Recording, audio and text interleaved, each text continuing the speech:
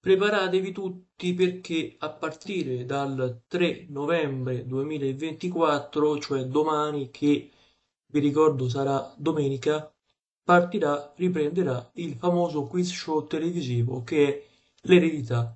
Torna ovviamente su Rai 1, la famosa emittente ammiraglia per eccellenza, fino al giugno 2025, credo.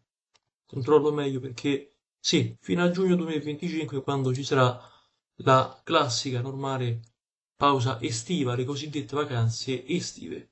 Sarà sempre al timone, quindi la conduzione il buon Marco Liorni, in onda tutti i giorni su Rai 1 a partire dalle 6.45 circa del tardo pomeriggio. Lo stesso conduttore non vede l'ora di andare a, diciamo così, mettersi in condizione di condurre il programma in questione che si mette in condizione sempre di più di essere apprezzato e amato.